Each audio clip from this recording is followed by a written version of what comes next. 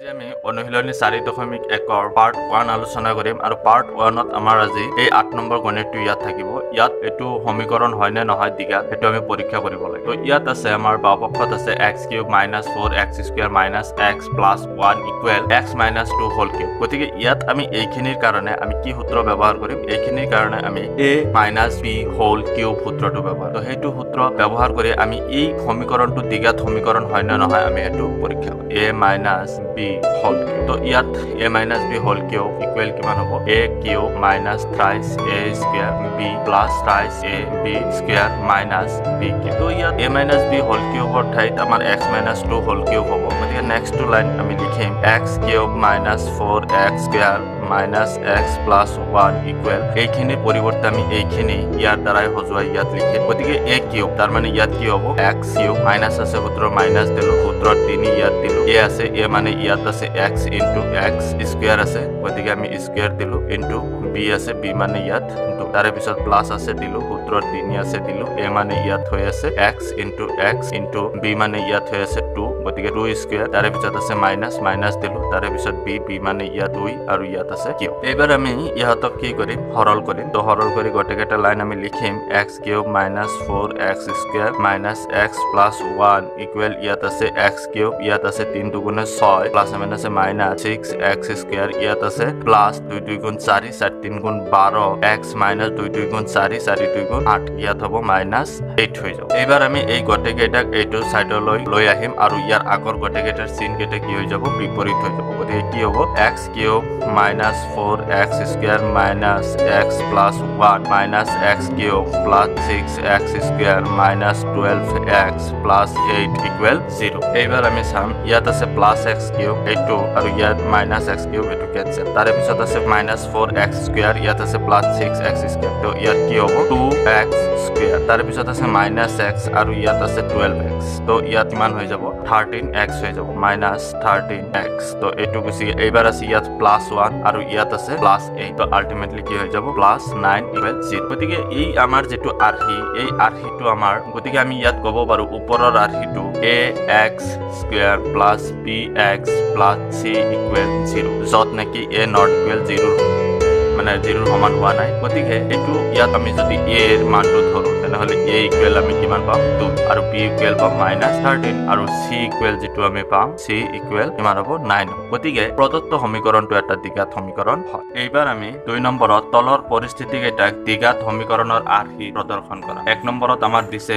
আয়তাকাৰ মাটি এটুকুৰাৰ কালি পাঁচশ আঠাইছ বৰ্গ মিটাৰ মাটি টুকুৰাৰ দিশ ইয়াৰ পথালিৰ দুগুণতকৈ এক মিটাৰ বেছি। আমি মাটি টুকুৰাৰ দিশ আৰু প্ৰস্থ উলিয়াব বলে চলিউশ্যন ধৰা হ'ল আয়তাকাৰ মাটি, টুকুরা, পথালি এক মিটাৰ কিন্তু আমাক দিয়া আছে যে মাটি টুকুৰাৰ দিশ ইয়াৰ পথালিৰ দুগুণতকৈ এক মিটাৰ বেছি। যে আমাৰ দিয়া আছে, যিটো সেইটো আমি লিখিব লাগিব। এতেকে মাটি টুকুৰাৰ দি হ'ব। কি হ'ব? যিহেতু আমাৰ দিয়া আছে যে মাটি টুকুৰাৰ দিশ ইয়াৰ পথালিৰ দুই গুণতকৈ এক বেছি হয়। গতিকে আমি ইয়াক লিখিম টু ইনটু এক্স আৰু এক বেছি। তো আল্টিমেটলি ইয়াত কি হ'ব? টুৱাইচ এক্স প্লাছ ওৱান তো নেক্সট আমি আলোচনা কৰিম যে আয়তৰ কালি আয়তৰ কালি। তো আমি আয়তৰ কালি গম পাওঁ যে দিশ পূৰণ প্ৰস্থ। অৰ্থাৎ এল ইনটু বি। তো নেক্সট আমাৰ ইয়াত যিটো আমাৰ দিশ আছে সেইটো দিশটো কি আছে? টুৱাইচ এক্স প্লাছ ওৱান আৰু যিটো প্ৰস্থ আছে সেই প্ৰস্থটো আমি ধৰি লৈছো যে এক্স মিটাৰ গতিকে আমি ইয়াক এক্সৰ লগত পূৰণ কৰিম। এক্স মিটাৰ এতিয়া মাটি টুকুৰাৰ কালি আমাক কিমান দিয়া আছিল যে মাটি টুকুৰাৰ কালি? গতিকে আমাৰ মাটিৰ কালি আয়তকৰ যিটো মাটি আছিল ইয়াৰ কালি আছিল পাঁচশ আঠাইছ বৰ্গ মিটাৰ পাঁচশ আঠাইছ বৰ্গ মিটাৰ এতেকে প্ৰশ্ন মতে আমাৰ সমীকৰণটো হ'ব twice X plus one whole into X equal five two implies এই এক্স গোটেইকেইটাৰ লগত পূৰণ হ'ব তো ইয়াত কি হৈ যাব?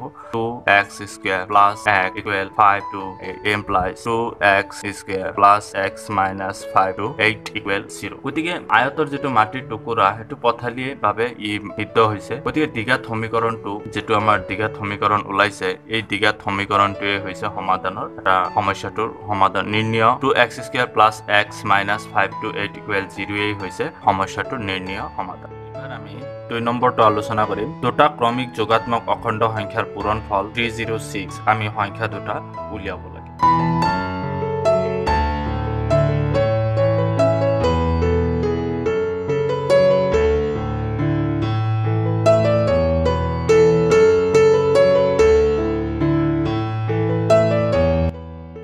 ধৰা হ'ল ক্ৰমিক যোগাত্মক অখণ্ড সংখ্যা দুটা ক্ৰমে এটা এক্স প্লাছ ওৱান আৰু এটা এক্স গতিকে প্ৰশ্নমতে যদি x into x plus one কৰা হয় তেনেহ'লে সিহঁতৰ পূৰণ ফল থ্ৰী জিৰ' ছিক্স এমপ্লাইজ এই এক্সটো ইয়াৰ লগত আৰু ইয়াৰ লগত পূৰণ হ'ব তো ইয়াত হ'ব x square plus x equal three zero' six implies x square plus x minus three zero' six equal zero' এতেকে ক্ৰমিক যোগাত্মক অখণ্ড সংখ্যা পূৰণ ফলটোৱে সিদ্ধ কৰা টিকা সমীকৰণটো হৈছে x square plus x minus three zero' six equal zero' আৰু এইটোৱেই সমস্যাটোৰ নিৰ্ণয় গাণিতিক সমাধান।